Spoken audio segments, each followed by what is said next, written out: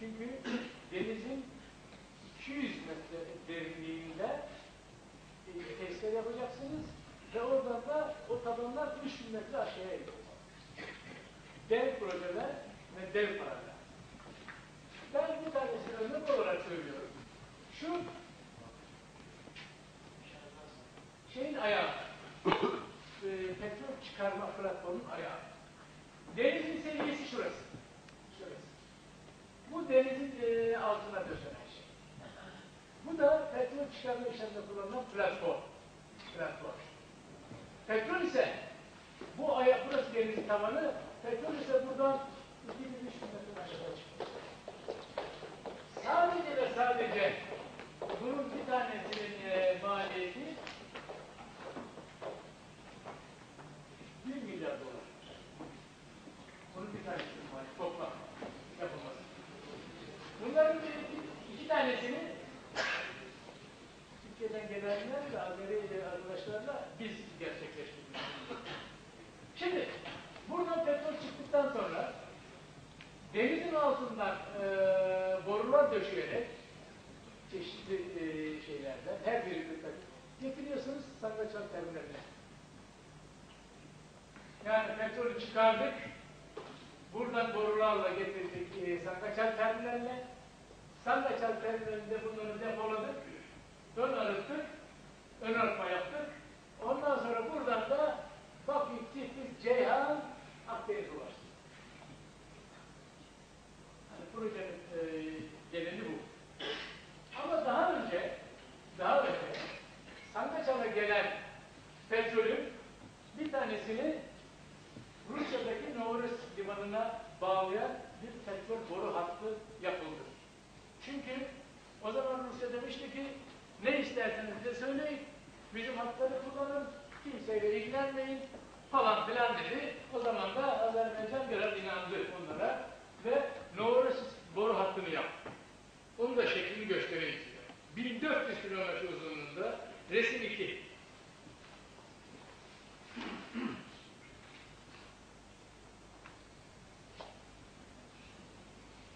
Bakıyor. Ve şu hattı yaptı Azerbaycan. Ve konsorsiyum. Petrol, ilk çıkan petroller bu hattan e, Norris limanına geliyor. Oradan gemilerle dünyanın değişik ülkelerine taşınıyor. Ama çoğunluğu da yine buradan geldi İstanbul Boğazı'na geçiyor. İstanbul Boğazı da tehlike altında tabii. Petrol tankerinin bir tanesinin havaya uçması İstanbul'da yaşını götürür. Ama ne yapalım? İdare edildi o zaman. İtiraz etmemize rağmen. Azerbaycan'a değil, sisteme itiraz. Ama zaman geçti. Bu hatta Azerbaycan petrolünü sebeplerini pek söylemeyeyim. Rusya yanlış anlayabilir. Zaman zaman durdurmaya başladı e, bu petrol. Vanayı kapatıyor veya bilmem ne. O detaya geçeyim. Sözünde durmadı. Petrol alıcıları zarar etmeye başladılar. Petrol satışı Azerbaycan'da zarar etmeye başladı. Bunun üzerine ikinci bir boru hattının lazım olduğu düşünüldü. Kimdir en iyisidir? Gürcistan dostumuzdur dedik. Ve Bakü'den Sutsa limanına e, bir boru düştü. Bu boru hattının döşenmesi esnasında ben de Gürcistan'da bu işin yapımının başındaydım. Sutsa'da bir terminal yaptık. Daha rahatladık. Burası İstiklal kapağısı ama hiç olmazsa buradan satabiliriz. Ama yine de buradaki gemiler yine İstanbul Boğazı'ndan geçiyor. Yine tehlike, yine tehlike, yine tehlike.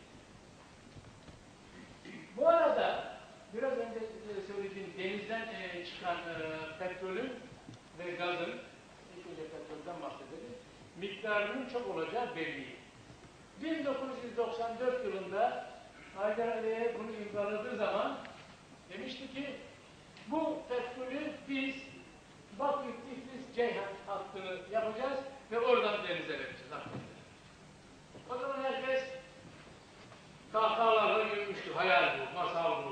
Nereden çıktı bu falan. Tabii her şeyin zamanı var. Beklendi. Beklendi. e, ana amacı hem güvenli ülkeden geçecek Gürcistan ve Türkiye. İkinci e, sebebi de buradan çıkan e, petrol artık bu iki hat taşıyamaz.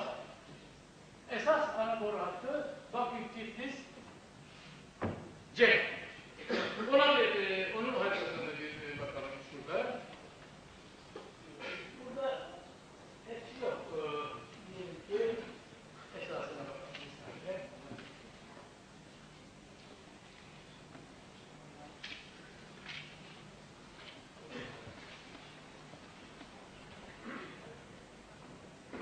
Bakıyor. Bu rover e, hattı, bu e, Sıklı hattı ve en sonunda yapılan Tiflis'ten, Erzurum'dan Ceyhan'a gelen boru. Ceyhan'da da yine e, büyük bir terminal yapıldı. Orada depolama işlemleri e, yapılıyor.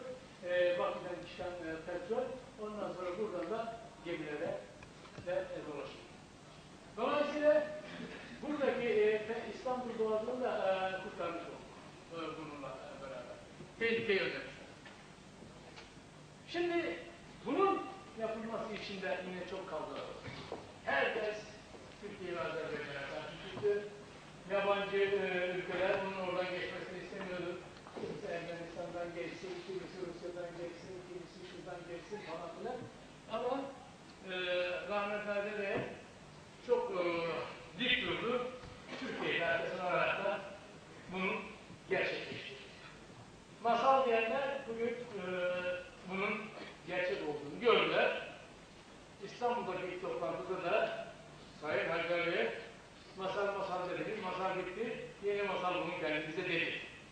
Yani yeni hayaller bunu onları da gerçekleştirir diye meydanda okuduk. Yani bu kendi sözleri benim 1760 kilometre. Şimdi yanlış anlaşılmasın diye tekrar söylüyorum. Sadece Bakü Tiflis Ceyhan hattının adı e, e, asli değil. Petrolün çıkarımından, buradaki işlemlerden, e, taşınmasından buraya gelmesi hepsi bir e, tek bir proje ve asli layihası bu.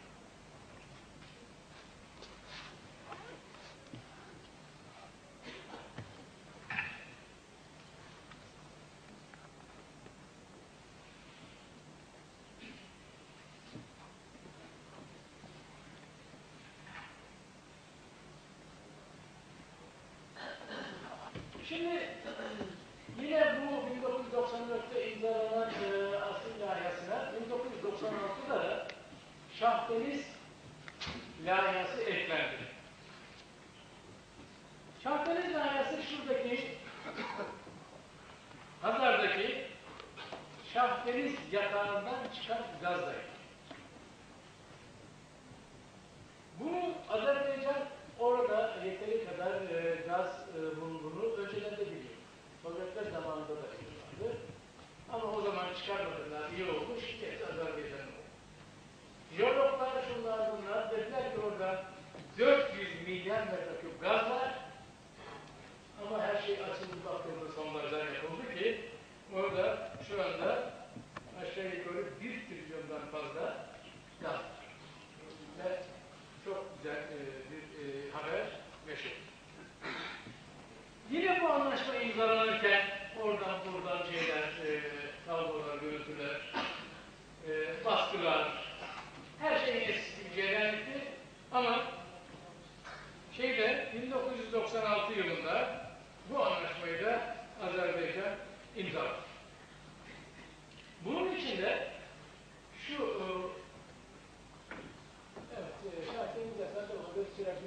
şahdeniz yatağı Şimdi e, bu şahdeniz yatağıyla ilgili anlaşmaların içinde yine kimler vardı?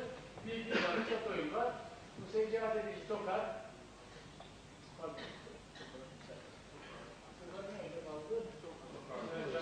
Hangisi? Sezci. Tamam, tamam, pardon. Ee, Sokar.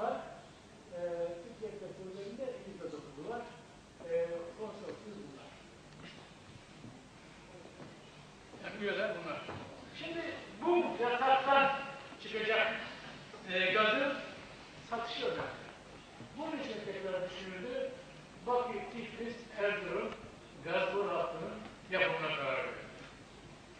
O zaman onu da e, görmek için e, şu haritaya e, bakalım. E, resim e, 18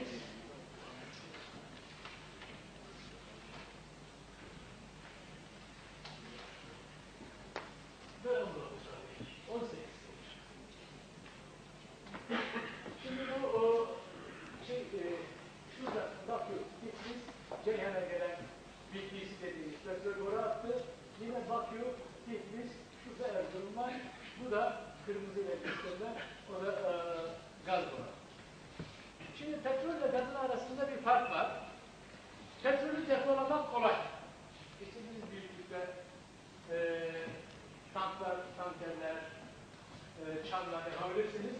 Petrolü buralarda. Ama gazda öyle bir durum yok. Gazı depolamak çok zor. Ve çok büyük e, hacimde isteyen. Onun için ilk önce buraya kadar gelecek gazın satışı önemli. E, Erzurum'a gelen gazın en büyük alıcısı Türkiye, benim gaza ihtiyacım var dedi. Kabul etti almayı, ki ihtiyacı var gerçekten. Ve onun üzerine bu petrol boru attı. Ama Şahdeniz'deki gaz, belki diğer yataklarda daha da fazla. Türkiye'nin ihtiyacından çok daha fazla. O zaman ne olacak? O zaman da buraya kadar getirilen hat böyle uzanacak, onları da göstereceğim. Buradan Yunanistan veya Bulgaristan üzerinden Avrupa'ya taşınacak. Yani Hazar Denizi'ndeki e, gazın alıcıları buralar. Bununla da ilgili bir e, resmimiz varsa ona e, bakalım.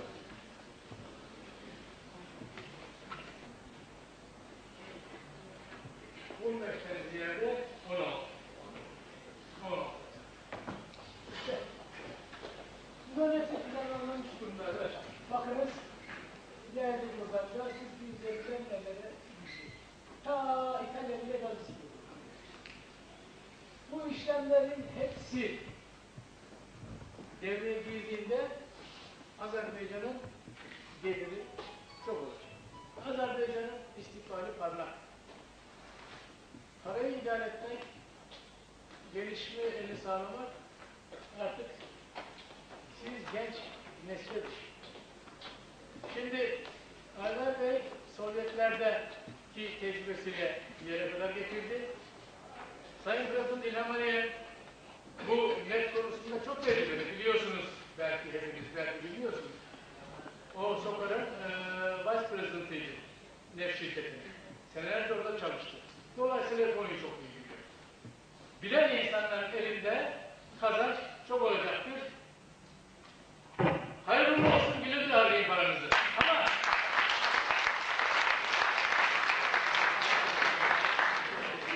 şimdi e, bir iki ufak e, mesele daha var.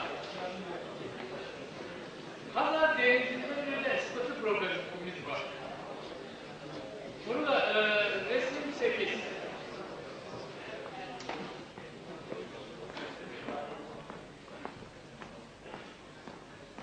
Burası Hazar Denizi. Şimdi Sovyetlerin dağılımından sonra Türkmenistan, Kazakistan, e, Rusya e, ve İran tam Azerbaycan arasında bazı sınır anlaşmazlıkları meydana geldi. Çünkü eskiden buranın hep Sovyetlere ait olduğu için sınır bunun yoktu. İstediği yerden çıkarıyordu. Moskova'ya e, götürüp istediği gibi harcıyordu. Parayı e, bulup ve e, şey. Ama şimdi devletler kendi e, arazilerine sahip olmaya. Sınırı, Azerbaycan'ın sınırı şu. En değerli yataklar Azerbaycan'ın şunlar. Burada. Ama İran diyor ki İran'ın sınırı burası. Hayır diyor benim sınırım böyle olacak. Yatakların bir kısmına sahip olmak. Şimdi buradaki mantığa bakmak lazım. Sovyetler zamanında İran'ın sınırı burası.